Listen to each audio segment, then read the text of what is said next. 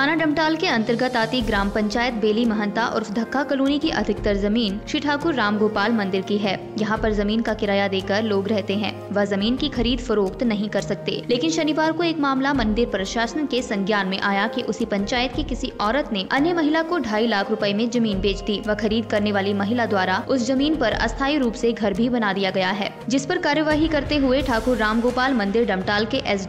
शमशेर सिंह अपने स्टाफ भारी पुलिस बल व जेसी भी लेकर मौके पर पहुंचे व महिला को दो दिन में जमीन को खाली करने के आदेश दिए वहीं महिला ने बताया वे अति गरीब है अतः लोगों के घर बर्तन साफ करके अपना व अपने बच्चों का गुजर बसर कर रही है वह यह जमीन गाँव की ही एक महिला ऐसी ढाई लाख रूपए में खरीदी है अतः इस बारे एस डी इंदौरा सोमिल गौतम को भी ज्ञापन सौंपा गया है हिमाचल दस्तक वेब टीवी के लिए इंदौरा ऐसी अशोक ठाकुर